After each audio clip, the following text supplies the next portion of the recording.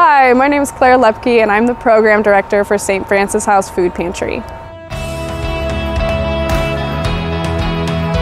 We are so grateful to be awarded the AARP grant this summer 2021. We're using these funds to build 15 raised beds to be used across Catholic social services programs. We'll have five dedicated to refugee and assistance and immigration services clients, all seniors.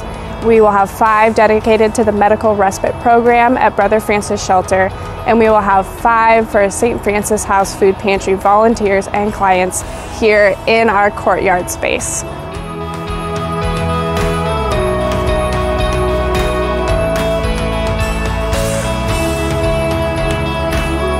Medical Respite was a program founded roughly three years ago to give homeless population a safe space to heal after they've been discharged from the hospital. Um, guests have been extremely excited about the opportunity to participate in the garden project, and we are just excited to see it grow and to become something more than it currently is. Thank you so much to AARP for the generous grant award.